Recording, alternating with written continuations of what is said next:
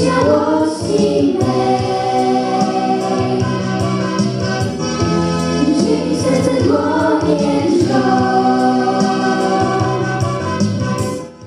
po raz piąty organizowana jest gala edukacyjna na terenie miasta Gminy Pelbin.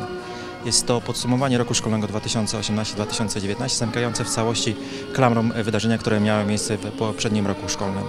E, korzystając z okazji chcieliśmy podziękować wszystkim pracownikom oświaty, dyrektorom, e, nauczycielom, administracji, obsłudze za ten mijający rok. Jak również gala jest dobrą okazją, aby uhonorować tych, którzy wyróżnili się w zeszłym roku. Stypendystów, zarówno stypendystów naukowych, jak i artystycznych, nauczycieli wyróżniających się w pracy e, edukacyjnej, jak również dyrektorów i osoby, które miały awans zawodowy.